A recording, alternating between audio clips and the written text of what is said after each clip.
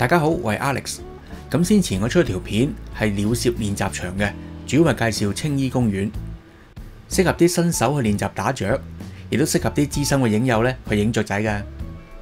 如果大家想重溫翻嘅，可以睇以下嘅連結。今次同大家介紹就去沙田中央公園嘅，我覺得呢個地方咧亦都係一個鳥攝練習場喎。而今集睇到嘅相咧都係沙田公園影嘅。因為冬季，所以影相嘅時間咧亦都冇乜限制嘅，唔同夏天啊。因為夏天非常之熱，而太陽咧都非常之猛烈嘅，所以雀仔只要喺比較早嘅時間同埋黃昏之前咧出沒嘅。咁如果係正嘅時候咧，你想搵雀仔都幾難啦。而近來嘅天氣，基本上全日都有機會有雀仔出現嘅。但系如果你想比較密集啲嘅雀仔咧，就建議大家十一點前嚟，又或者係兩點之後嘅。雖然喺公園影雀仔影到嘅機會比較大，因為啲雀仔係長住喺公園度嘅，咁但係亦都唔係成日會俾你見到雀仔嘅出現，其實都係一輪輪嘅。有時半個鐘甚至乎一個鐘，你都見到水靜鵝飛，冇乜動靜。但突然間呢，幾隻或者一群嘅雀仔又會出現，咁所以影雀仔都好講耐性嘅。而器材方面呢，我建議比較簡單就可以啦，因為唔適合用啲咁大嘅鏡頭去影嘅，因為會阻住人啦，亦都比較礙眼。而影雀仔喺公園入面，我哋都需要走嚟走去嘅。咁如果太重嘅器材呢，都唔方便我哋走動。咁我建議呢，打一支長焦距嘅 zoom 鏡就可以啦。譬如話有啲一五零至六百啊，一百至五百啊，或者係二百至六百咁。咁而我自己呢，都有兩個選擇嘅，因為我會用 Canon 啦、Sony 嘅。而 Canon 嘅 RF 長焦距 zoom 鏡呢，有一百至四百啦，一百至五百同埋二百至八百嘅。咁而定焦鏡飛大炮嘅呢，就會有支六百 mm 嘅十一光圈，同埋一支八百 mm 嘅十一光圈啦。咁我哋嘅選擇呢，就係用支一百至五百比較適合，因為個焦距呢相對會長少少，咁而支鏡呢都比較輕巧啲嘅。而 Sony 嘅組合呢，就比較多少少啦，可以用新出嘅七十至八點八加上一點四啦或者二成呢個組合呢，又輕便又高質素，又或者直接呢，用一百至四百支鏡頭亦都幾好用嘅。而我就比較中意用二百至六百 mm 鏡頭啦，因為佢最長可以到六百。有時啲雀仔咧比較遠少少距離或者細隻，都係個放大率比較大啲嘅。但係啲鏡頭咧本身係比較重嘅，有二點一 kg 左右。如果長時間手持，又或者等嘅雀仔有動作先撳掣咧，個穩定性就會差少少啦。好多時候都會有少少手震嘅。咁所以我建議咧可以用一個單腳架借一借力，抖一抖啲鏡頭咧都差好遠㗎。最好就配翻個單腳架專用嘅雲台啦，我啲就叫二維雲台，只可以上下搖動嘅方向，幾好用噶。另外我就唔建議用三腳架啦，因為三腳架比較壓榨，有時會阻住條路。而我哋走嚟走去呢，用三腳架都唔係太方便嘅。一個單腳架駁嗰支鏡頭，如果要行嘅時候，只要將支鏡頭放喺膊頭上面，攬住啲單腳架呢，就可以行噶啦。而近期啊，我就比較中意用 Sony 新出嗰支三八點八 GM 鏡頭啦，因為呢支鏡頭咧就特別輕嘅，只係一四七零 gram 咋，係同級之中最輕嘅，同以前嘅 Sony 七十至八點八 GM 第一代比啊，都係差唔多重量添。咁但係已經做到三八點八啦，真係非常難得啊！除咗三百 mm 有二點八之外啊，如果覺得唔夠長嘅，仲可以加上增距鏡。如果加上一點四增距鏡嘅話，佢有四二零 mm 四光圈。咁亦都一支比較長，亦都係大光圈嘅鏡頭嚟噶。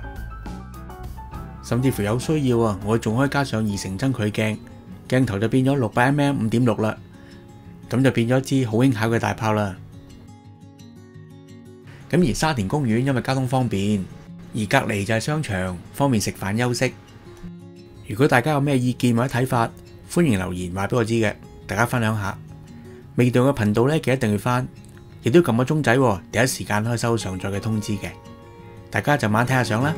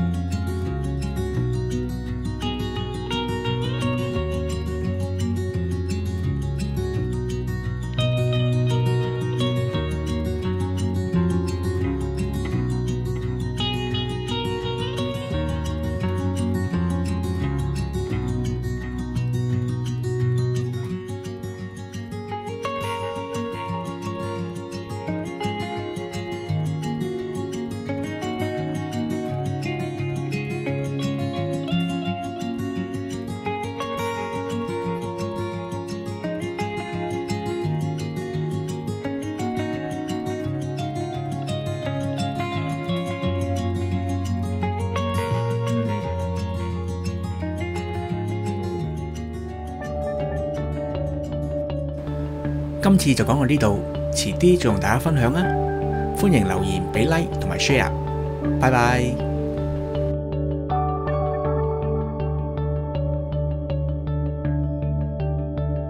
歡迎各位訂閱我哋嘅 YouTube 頻道，只需要按訂閱同埋按呢個小鈴圖案，就可以接收到最新上載嘅通知啦。最後記得俾 like 我哋啊！多謝各位。